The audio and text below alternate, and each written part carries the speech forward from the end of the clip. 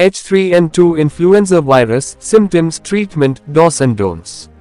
The influenza subtype H3N2 is the major cause of current respiratory illness in the country, with the ICMR saying that this subtype appears to cause more hospitalization than other influenza subtypes. The country has seen a spurt in influenza cases and it has been found that a large number of cases are because of the H3N2 virus. The Indian Council of Medical Research ICMR has said that the influenza or subtype H3N2 is the major cause of current respiratory illness in the country. H3N2 influenza is also known as the Hong Kong flu. Patients are taking more time to recover and coming on the heels of the COVID-19 pandemic, this virus has led to widespread concerns. However, the medical body has said people should not panic and continue with the COVID-appropriate behaviors that we have picked up during the pandemic. Here's all we need to know about the virus. H3N2 resulting in more hospitalizations currently. About the H3N2 virus, the ICMR said that this subtype appears to cause more hospitalization than other influenza subtypes.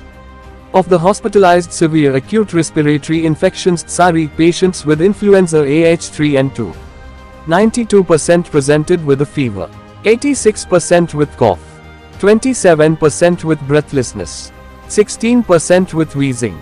Additionally, 16% had clinical signs of pneumonia and 6% had seizures. The Apex research body also said that 10% of SARI patients who have H3N2 needed oxygen, while 7% required ICU care, the ICMR said.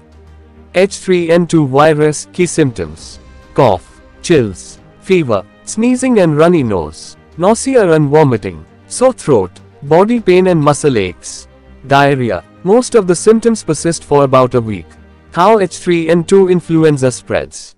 The virus is highly contagious and spreads via droplets released when coughing, sneezing, or talking to an infected individual. If someone touches their nose or mouth with the same unwashed hands that touched a surface that has the virus on it, the person can contract the virus. Who is most vulnerable to H3N2 influenza? Experts have said the virus mostly occurs in people aged below 15 and above 50 and causes upper respiratory infections along with fever. Elderly people, children, and pregnant women are most vulnerable to getting infected. Therefore, they must remain extra cautious while venturing outside, the doctors said. Patients having chronic ailments like asthma should also be extra cautious. H3N2 influenza, prevention and cure. One needs to follow the usual precautions against a virus follow hand hygiene and wash hands frequently, avoid contact with individuals who have fallen ill, cover your nose and mouth while sneezing and coughing, and get vaccinated with annual the flu shot.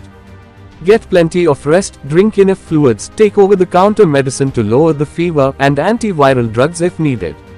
If symptoms persist, contact a doctor. Protection from H3N2 virus, dos and don'ts. Here are some of the important do's and don'ts. Do's. Maintain hand hygiene, wash your hands frequently with soap and water. Avoid crowded situations, it is still advisable to use a face mask. Cover your mouth and nose when you sneeze or cough. Keep yourself hydrated by drinking plenty of fluids. If you have fever and body aches, use paracetamol. Stay away from school or work when ill. Don'ts. Touch your face and mouth.